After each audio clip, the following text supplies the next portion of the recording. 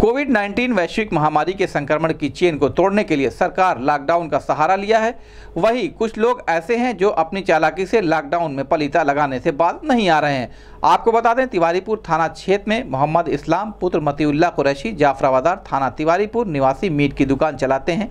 इन्होंने लॉकडाउन में भी मीट की दुकान चलाने के लिए फर्जी ई पास का जुगाड़ कर लिया।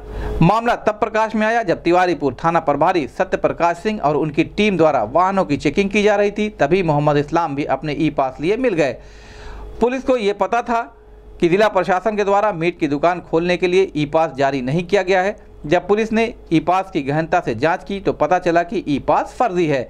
मीट की दुकान चलाने के लिए मोहम्मद इस्लाम ने फर्जी ई पास बनवाया था। जब पुलिस द्वारा कड़ाई से पूछताछ की गई तो मोहम्मद इस्लाम ने बताया कि उसने फर्जी ई पास अनस पुत्र इब्राहिम बेनीगंज थाना कोतवाली से बनवाया था। हरकत में आई तिवारीपुर। पुलिस ने अनस को गिरफ़्तार किया और पूछताछ में बताया कि पैसे की लालच में वो फर्जी ई पास बना रहा था।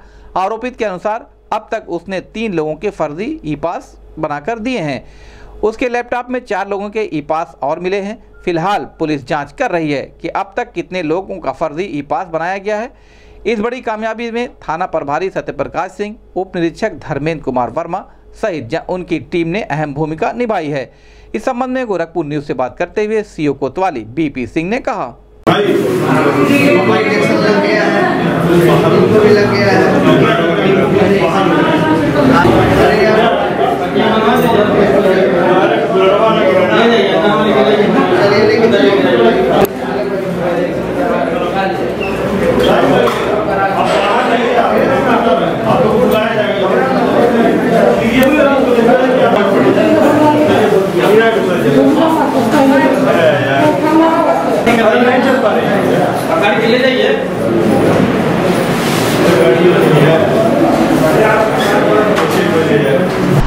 ये फर्जी पास तैयार कर, स्कैन करके और उसी पर मीट की दुकान चलाने के लिए इसने पास जारी किया था। एक अनस नाम का आदमी एक हज़ार रुपये लेकर के अपने लैपटॉप से। और इस्लाम नाम का व्यक्ति जो जाफरा बाज़ार का है, वो दुकान चला रहा था, जिनको पकड़ा गया है, जेल भेजा गया है, और भी पास बने हुए थे जो उनके लैपटॉप में है, उनका भी चिन्हीकरण किया गया है, गिरफ्तारी की जाएगी। अभी अभियोग पंजीकृत किया गया है, और सभी पास की चेकिंग चल रही है, और जो भी पास अवैध तरीके से लेकर के, बनवा करके काम कर रहे हैं, उनके खिलाफ अभियोग पंजीकृत कर कार्रवाई की जाएगी।